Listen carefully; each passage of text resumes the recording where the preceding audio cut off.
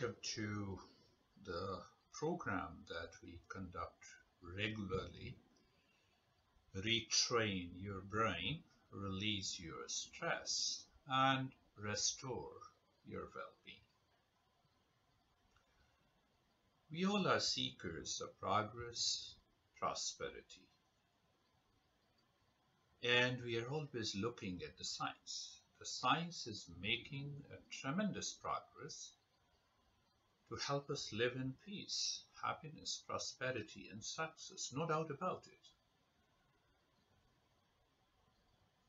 The science starts with the matter, the material world, and that is different from us, perhaps far from us, and separate from us, like our house, our car, our money, gadgets, they are separate, they are different from us.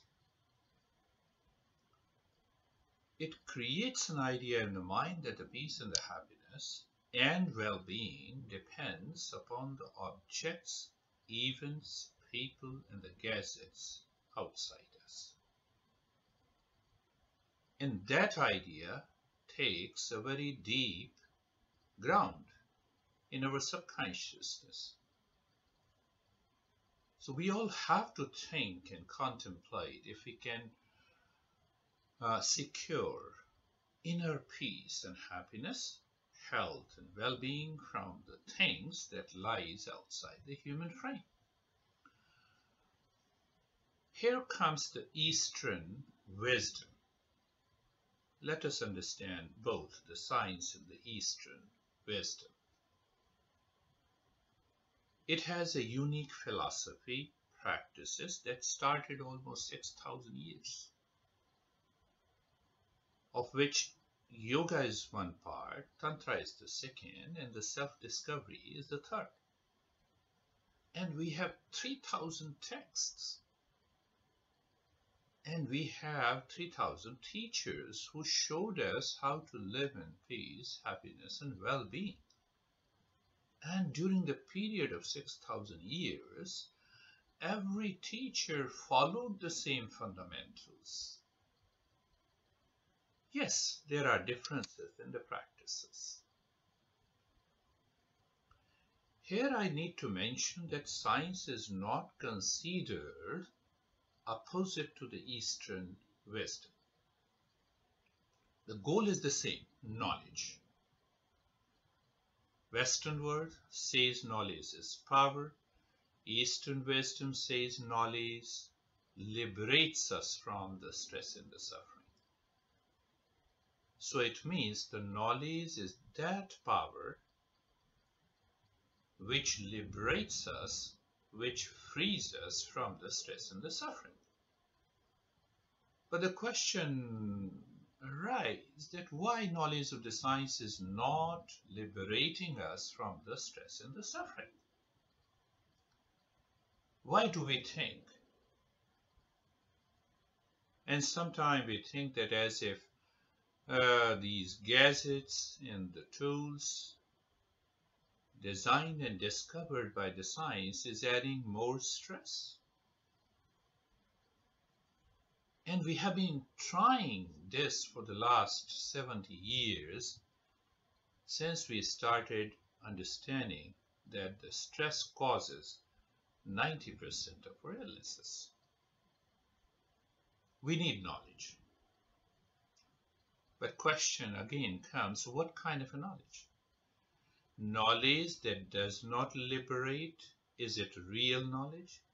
Or there is incomplete knowledge? Can we say that we are living in the information age and not the age of the knowledge? Information does not translate into reality.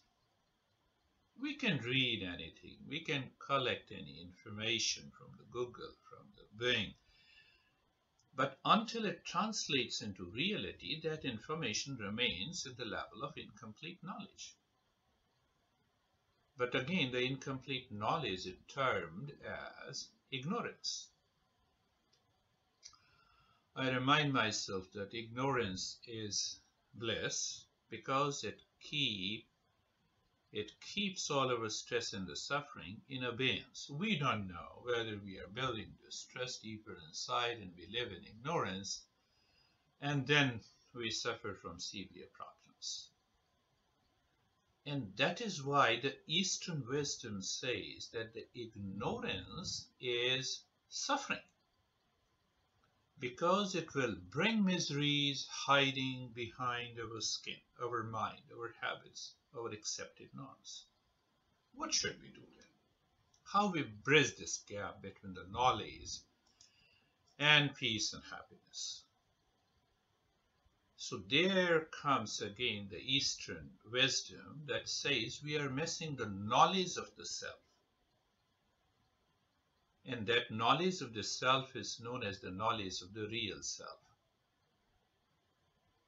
So are we not working with ourselves?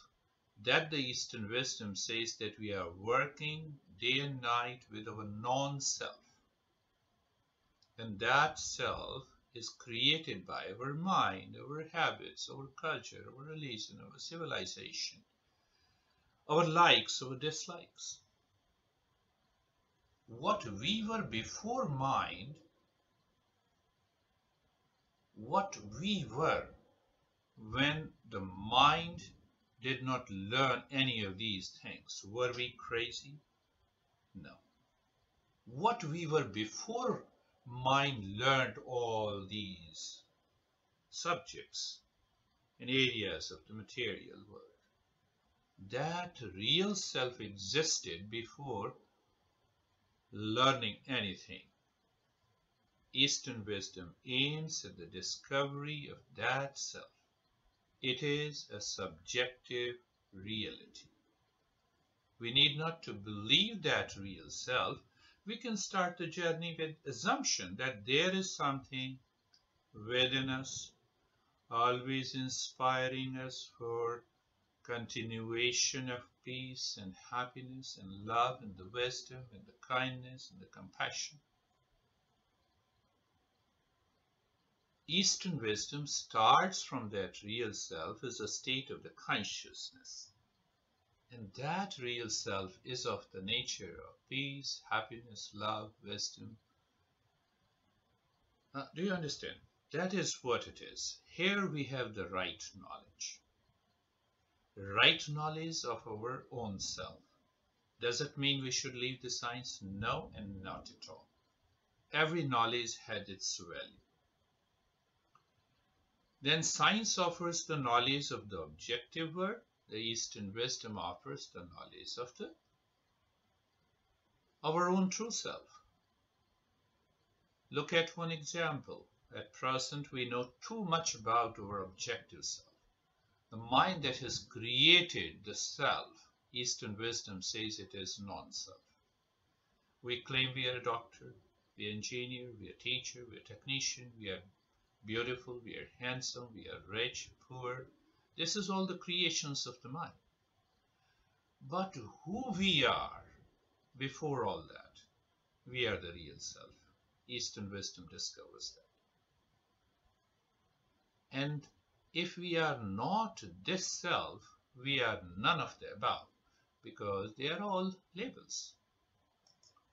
What should we do to unfold this real self? We should uh, continue to explore our real self while enjoying what the science offers to us to live in comfort, pleasure, and enjoyment. And enjoyment we should keep our goal of life to discover our own true self. We should live in an active life in the material world to harness our creativity by doing everything with perfection. We should always remember that pleasure is short lived we should always remember that pleasure is always short lived. And that is where we should always strive to achieve well-being, the state of the real self that guides the wellness at physical, mental, and emotional level. That's why we named this program as Retrain Your Brain, Release Your Stress, and Restore Well-Being. Restore means the well, the state of the well-being is always present always present deeper within. What is the basis of this program? The basis of this program is the texts and the teachings of the great masters. It combines the understanding of neuroscience. Eastern wisdom said thousands of years ago that uh, changing the mind changes the brain. No doubt they didn't use the specific word brain in the neuroscience. but they have understood, for example, they see that there are more than 72,000 energy pathways present in the body and we can alter those energy pathways by different groups of practices, maybe by deeper state of relaxation, by changing the rate and the rhythm of the breath, by chanting certain sounds that helps to change the brain, and there is a long list.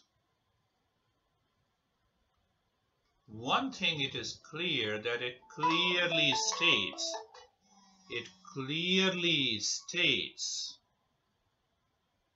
that if we change the mind that becomes lazy, crazy, and blaming, we can change the entire state of the being.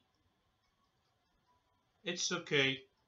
Don't worry, you're listening to me. Let the cell phone ring. Pay attention. So here we use the two great texts. One is the Kundalini Upanishad and the other is the Tattva Bodha. Tattva Bodha lays a foundation of certain principles that of the subjective world. And the Kundalini Upanishad helps us to understand that how to apply those fundamentals into different steps that becomes one practice. Why we use these texts? Simple reason. A science uses the manual that contains fundamental principles that can be applied for desired result. Don't you use the manual of the iPhone to start working on the iPhone? So these texts, which has been passed on to us for, from thousands of years ago, so they act as a great manuals for us to understand the fundamentals and the practices. That is why when we follow these fundamentals from the text and the teachings of the great masters that leads to desired changes in our lives. Otherwise, the same thing, it leads to incomplete knowledge, it breeds doubt, confusion, and hallucinations. How this program is different. This program starts with a clear and deeper understanding of the fundamentals that aims at exploring our hidden potential. Its goal is to retrain our brain, what science says fire the brain to rewire it.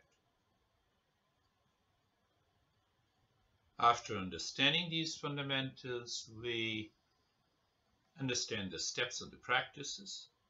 The practices last for 45 to 50 minutes in 60 to 75 minutes program. We share our experiences. We understand myth, facts, aids and the barriers. And we also clearly understand how to keep our mind away from any kind of hallucination and myth that are surrounded with these practices. And that is why we never use and we never think of conditioning your mind. The goal is to bring that freedom of the mind. We welcome you all to join this program. It will help you reduce your anxiety, release your stress, and improve your sleep.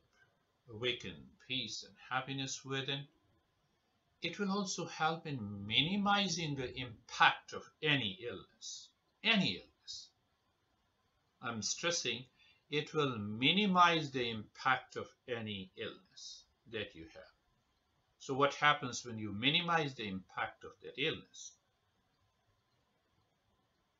By inducing a deeper state of calmness and relaxation by withdrawing your mind from outside to inside and keeping it inside for a longer period, that is going to fire the brain to revive and at last you will tread the path of the self-discovery for peace, creativity, success, and prosperity.